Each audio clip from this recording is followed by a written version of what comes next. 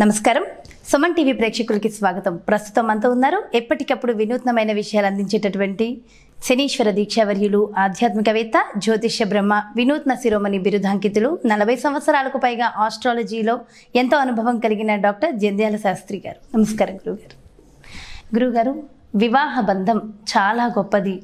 అది అందరికీ తెలిసింది మీరు ఎప్పటికప్పుడు వివాహ బంధం నిండు నూరేళ్ళ జీవితం దాన్ని చాలా జాగ్రత్తగా కాపాడుకోవాలని అంటూనే ఉంటారు కదా.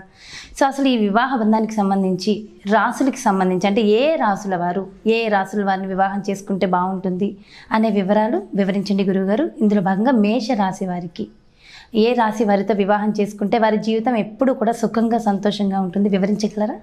ప్రథంగా ఓం గ్రహదేవాయ నమ. సమస్తమైనటువంటి సర్వ భక్తులకు కూడాను నువ్వు చెప్పినట్టుగా నేను ఎప్పుడు కూడాను నా యొక్క ప్రధాన లక్ష్యమే వంద సంవత్సరాల పంట వివాహమైనటువంటి ఒక అద్భుతమైన ఒక ప్రక్రియ. దాంట్లో ఒక సెకండరీ లేదు. వాళ్ళ వంశాభివృద్ధి కానివ్వండి వాళ్ళ వాళ్ళకు ఉన్నటువంటి సర్వ సకల ఆనందాన్ని ఇచ్చగలిగినటువంటి ఏకైక శక్తివంతమైనది ఏంటంటే వివాహ విషయం అని అంటాను. ఇక దాని గురించి నేను ఉన్న దాంట్లో దాంట్లో కనీసం వన్ పర్సెంట్ కూడా తక్కువ చేసి మాట్లాడు నేను. అయితే ఇప్పుడు అడిగినట్టుగా మేషరాశి వారికి ఏ రాశి వారితో బాగోతే ఏ, మంచిదని ఒక క్వశ్చన్ చేశావు. అవును. ఇప్పుడు నేనేం చెప్తానంటే ఎవరితో చేసుకుంటే మంచిదనేది పక్కన పెడతాము ఎవరితో చేసుకుని ఇబ్బంది వస్తుందో తెలిస్తే మిగతా వాళ్ళంతా మంచి అవుతారుగా. ఇప్పుడు ఎవరితో చేసుకుంటే మంచి అవుతుందని నేను మిశ్రం చేసుకుంటే వాళ్ళలాగా చిక్కాలని చెప్పి వీళ్ళు బాధపడుతుంటారు. ఇక్కడ చాలా సమస్యలు వస్తున్నాయి. అసలే ఇప్పుడు మనం కొంచెం మూఢనమ్మకాల్లోకి ఉన్నాం ఏదంటే నాగరికత పెరిగింది అద్భుతమైనటువంటి వైజ్ఞానిక శాస్త్రం పెరిగింది మన టెక్నాలజీ పెరిగింది. ఇప్పుడు అసలు పెళ్ళి చూపులు అనేవి ఆటోమేటిక్గా పిల్లవాడు పిల్లల్ని పిల్లల్ని వచ్చి చూసుకునే పరిస్థితి ఏం లేదు. అంతా హ్యాపీగా కూడాను మీరు కంప్యూటర్లోనే అమ్మాయి అబ్బాయి వాళ్ళు హాయ్ చెప్పుకోవడం పలకరించుకునే దాకా వచ్చాం మనం. కాబట్టి మనం ఆ యుగంలోంచి మాట్లాడుకోవాలి కానీ మనం ఈ యుగంలో మనకు. అయితే ఇక్కడ ప్రధానంగా ఎవరికైనా కూడాను వివాహ ప్రక్రియ చేసుకునేటువంటి తల్లిదండ్రులకు కానివ్వండి చేసుకోబోయేటువంటి వరులు వధువుకి నా విజ్ఞప్తి ఏంటంటే ఇక్కడ మూఢనమ్మకంగా నేను ఏదైనా కుటుంబీకులు చూపించినటువంటి అరేంజ్ మ్యారేజ్ చేసుకోండి అరేంజ్ మ్యారేజ్ చేసుకుంటే మంచి జరుగుతుందని నేను మాట్లాడే వ్యక్తిని కాదండి. నా వయసు డెబ్బై ఏళ్ళు కానీ నా ఆలోచనలు మాత్రం ఇరవై ఏళ్ళే. అది గుర్తుపెట్టుకోండి మీరు. నా వయసు డెబ్బై ఏళ్ళు అండి గడ్డం కూడా తెలంగా ఉంది చూశారు కదా కనపడుతుంది. కానీ నా ఆలోచనలు మాత్రం ఇప్పుడు రెండు వేల ఇరవై శతాబ్దం కాదు ఇరవై మూడో శతాబ్దంలో ఏం జరగబోతుందో చెప్తున్నాను నేను. కాబట్టి నేను ప్రేమించడం వద్దని చెప్పనండి. అరేంజ్ మ్యారేజ్ చేసుకుంటాము సరే మీ మీ ఇష్టం అది. తల్లిదండ్రుల యొక్క ఆలోచనలు ఉంటాయి పిల్లవాళ్ళ యొక్క యోచనలు బట్టి ఉంటాయి. అది తప్పని కాదు హండ్రెడ్ పర్సెంట్ ఇస్ రైట్. అని ప్రేమించడం తప్పని కూడా నేను అభిప్రాయపడినాను. ప్రేమించేటప్పుడు ఏ లగ్నం ఉంటుంది? నువ్వు చెప్పినట్టు మేష లగ్నం ఏముంటుందా లేకపోతే ఏ- పన్నెండు లగ్నాలు ఏమున్నాయా లేకపోతే ఈ అమ్మాయి రాశి ఏంటి? ఈ అమ్మాయి నక్షత్రం ఏంటి? ఈ అమ్మాయి డేట్ ఆఫ్ బర్త్ ఏందని పిల్లవాడు చూడు. పిల్లవాడు డేట్ ఆఫ్ బర్త్ ఏంది? పిల్లవాడి నక్షత్రం ఏంది? అమ్మాయి చూడు. కరెక్టే కదా? ఏంటి? ఏమైనా తప్పుందా అని చెప్పేదంటావు ఈ రెండు చూడకుండా నీకు ఎడ తెలుస్తుందో? తెలియదు కాకపోతే ప్రేమ అనేది ఏమి తెలియకుండా చూసుకునేది ప్రేమ అంటాం. అంతే కదా? సరే అసలు నిర్వచనాలు చాలా ఏదో ప్రేమ గుడ్డిది కళ్ళు కళ్ళు కలుస్తాయి ఇవన్నీ సరే ఈ సినిమా డైలాగులు సరే వదిలేద్దాం వాటి గురించి మనకు అనవసరం మాటలు కానీ ప్రేమించుకున్న వాళ్ళైనా అరేంజ్ చేసే వాళ్ళైనా కూడాను ప్రతిదానికి ఒక పరిహారం ఉంది కరెక్ట్ చేయమంటాను. అసలు ముందు ఏంటి అనేది మీద ఒక వివరం ఇద్దాం మనం ఇక్కడ. ఇక్కడ మేష రాశి నువ్వు అడిగావు నువ్వు నేనేమంటా అంటే రాశి లగ్నం రెండు రకాలుగా ఉండేది రెండు అర్థం అర్థం చేసుకోవాలి అక్కడ రాశి అని అంటే చంద్ర ఆధారితం ఎప్పుడు చెబుతుంటాను ఈ మాటలన్నీ కూడా కొత్తగా చెప్పే మాటలు ఏం కావు నావి. ఎప్పుడు మాటలు చెప్తుంటా. కాబట్టి అర్థం చేసుకోవాలని రోజు రోజు చెప్తూ వస్తున్నాను. చంద్ర ఆధారితమే చేసినప్పుడు అశ్విని భరణి కుర్తిగా ఒకటో పాదంలో కలిపింది మేషరాశి అంటారు దాన్ని.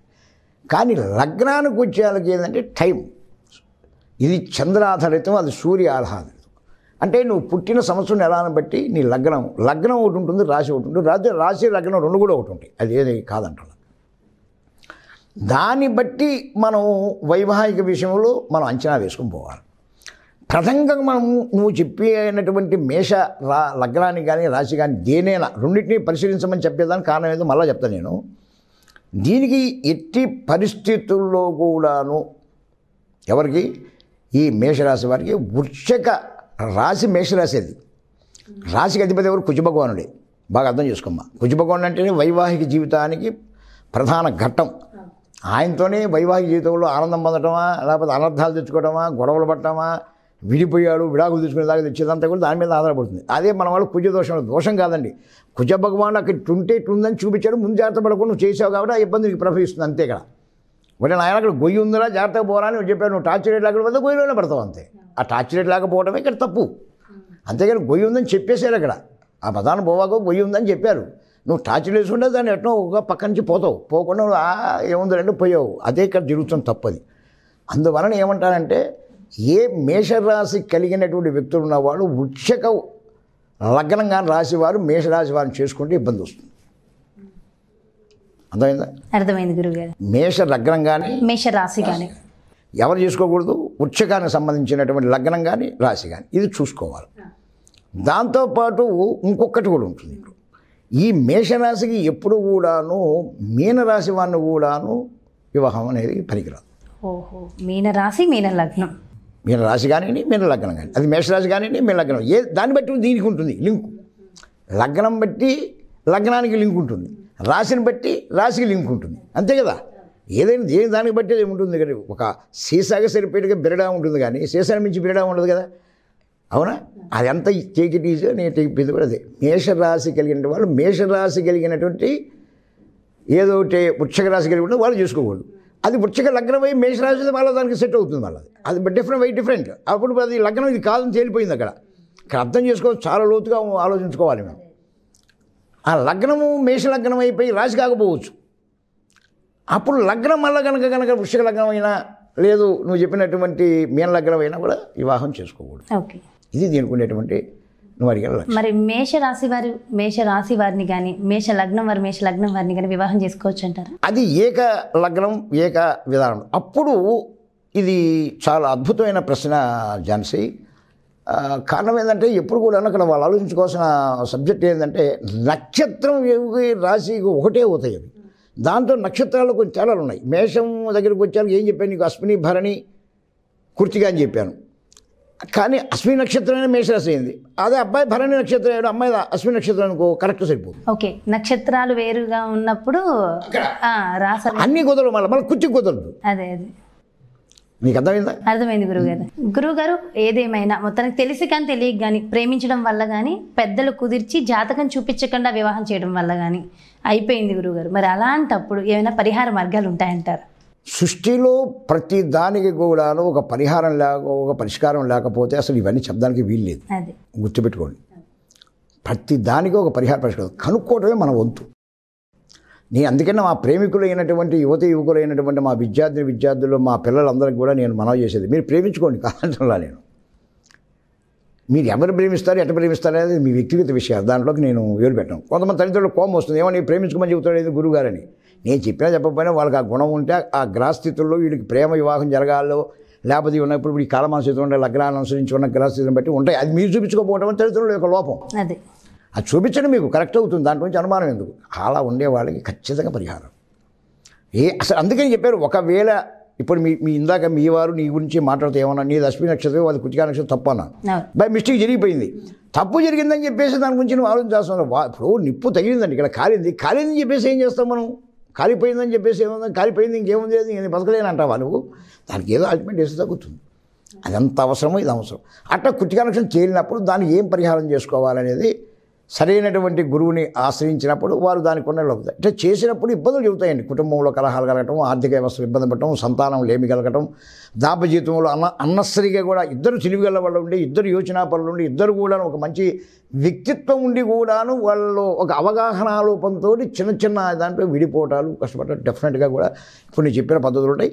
దానికి ఇంకా లోతుగా చెప్పాలంటే అంటే మేష లగ్నానికి వచ్చేసరికి వృషభ ఆ యొక్క వృక్షక లగ్నం వాళ్ళు చేసుకున్నప్పుడు ఒక పద్ధతి ఉంటుంది మేన లగ్నం వాళ్ళు చేసుకున్నప్పుడు ఒక పద్ధతి ఉంటుంది.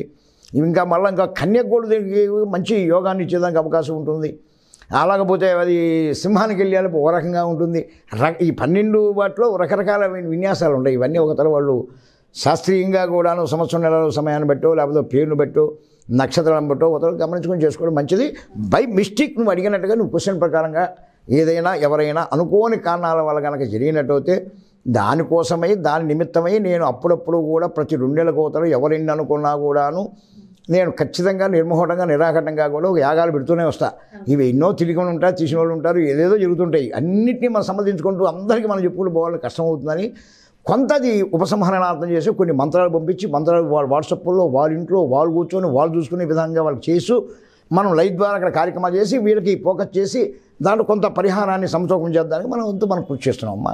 దాన్ని వాళ్ళు కూడా భక్తి విశ్వాసం ఆశ్రయంతో కనుక పట్టించుకోవడం తెలుసుకోవడానికి ప్రయత్నించిస్తే ఎవరికి ఎట్టి వయస్సులో కూడాను ఇంకా కాస్త లోతుగా చెప్పాల్సిన విషయాలు ఉన్నాయి. నేను ఇంకొక వీడియోలో చేసినప్పుడు చెప్తాను. కానీ వివాహ ప్రక్రియ అనేది మళ్ళా మళ్ళా మా తల్లిదండ్రులు చెప్తున్నాను. వంద సంవత్సరాల పంట. దాంట్లో మాత్రం హండ్రెడ్ పర్సెంట్ నీ యొక్క గౌరవం నీ యొక్క మర్యాద నీ యొక్క కీర్తి నీ యొక్క శారీరక ఆనందము నీ ఆత్మానందము నీ ఐశ్వర్యము నీ ఉత్సాహము నీకు ఏదైనా కూడా ఒక సంపూర్ణంగా కూడా నువ్వు ఒక పేరు ప్రఖ్యాలు తెద్దానికి వివాహమే ప్రాణం. ఇది నా అనుభవం చెబుతున్న మాట. అన్యదా భావించకుండా విషయం తీసుకున్న ప్రయత్నిస్తాను మనస్ఫూర్తిగా కూడా ప్రార్థిస్తూ మేషాల గురించి చెప్పాను. తక్కిన రాసుల గురించి కూడా వివరిస్తాను. ప్రతిదీ మీరు విని చేసుకొని పరిహారం లేదనుకొని భయపడవాకండి. ఎప్పుడూ నెగటివ్గా ఆలోచించవాకండి. పాజిటివ్గా ఆలోచించండి. ఆత్మవిశ్వాసంతో ఉండండి. ఆశయంతో ఉండండి. తదితరుల్ని మనస్ఫూర్తిగా నమస్కరించండి. వృక్షాన్ని పెంచండి. అలాగే మూఢనమ్మకాల జోలికి పోవాకండి. చాలా మూఢనమ్మకాలు వస్తున్నాయి. ఆ మూఢనమ్మకాల జోలికి వెళ్ళవాకండి శాస్త్ర అపాసన చేయవాకండి. కృషి చేస్తే మీకు తిరుగులేదు ఏదో భార్యాపద విడిపోయే వాళ్ళు కూడా కలిసిపోతారు. మీరేం భయపడవాకండి. అదే నేను మీకు చెప్పిన చేయండి మీరు. విడిపోయిన వాళ్ళు కూడా మళ్ళీ కలుస్తారండి. పెళ్ళి చేసుకునేప్పుడు ఇద్దరు కావాలని చేసుకుని కొన్నాళ్ళు కాపురం చేసి విడిపోయారంటే మళ్ళీ కలవాలి ఎందుకని ఉంటారండి మీరు? మీ యొక్క ఆ విధానాన్ని మీరు కరెక్ట్ చేసుకోవడం లేదు. కానీ కలవరనే ప్రశ్న ఏంటండి అసలు? కలవబద్ద శాస్త్రం ఎందుకండి? కాబట్టి అది చెయ్యాలి అది. కృషి చేయకుండా పెన్నట్టు అవుతుంది. ఇల్లు కట్టాలి ఎన్నాళ్ళు పడుతుందండి మనకు? ఒక ఒక సంతానం కలగాలంటే ఎన్నాళ్ళు పడుతుంది నీకు? తొమ్మిదేళ్ళు నెలలు మోస్తేనే కదా బిడ్డ నీకు మంచి ఉమ్, వేగవంతుడిగా వచ్చేది. కాబట్టి ఇవన్నీ చెప్పుకోబోతే టైం వేస్ట్ అవుతుంది కాబట్టి అర్థం చేసుకునే శక్తి మా భక్తులకు ఉంటుందని మనసుబోధి విశ్వసిస్తూ ఆస్వాదిస్తాను శుభం నమస్కారం. చాలా చక్కగా వివరించారు గురువుగారు. చక్కని విషయాలు కూడా అందించారు. చాలా సంతోషంగా ఉంది. నమస్కారం. చూసారు కదండి విన్నారు కదండి గురువుగారు చెప్పిన ప్రతి మాట కూడా. గురువుగారు వివాహ బంధం గురించి వివాహ బంధం యొక్క గొప్పతనం గురించి వివరిస్తూనే ఏ రాసుల వారు వివాహం చేసుకోకూడదు అనే అంశాలు కూడా వివరించారు కదా. జాతకం అనేది ఎవరికి వారు ఇండివిజువల్గా తెలుసుకోవాల్సిన అంశం అది అందరికీ తెలుసు. ముఖ్యంగా వివాహ విషయంలో ఖచ్చితంగా జాతకం చూపించుకుని జాతక పొంతన చూపించుకునే వివాహం చేసుకోవాలి. సో గురువుగారితో జాతకం కానీ మీ ఇంటి గృహవాస్తు కానీ లేదా మీకు ఏదైనా ధర్మ సందేహం ఉన్నట్లయితే లేదా లగ్నానికి సంబంధించి కానీ గురువుగారిని సంప్రదించాలనుకునే ప్రతి భక్తులు కూడా కింద స్క్రోల్ అవుతున్న నెంబర్స్కి మీరు కాంటాక్ట్ కాంటాక్ట్ అయితే పూర్తి వివరాలు అందిస్తారు. అదేవిధంగా శీఘ్ర మహాయంత్రం గురించి కానీ గురువుగారు నిర్వహించేటటువంటి యజ్ఞ యాగాదులకు సంబంధించి కానీ గురువుగారిని సంప్రదించాలనుకుంటే కింద స్క్రోల్ అవుతున్న నెంబర్స్కి మీరు కాంటాక్ట్ అవ్వచ్చు. నమస్కారం.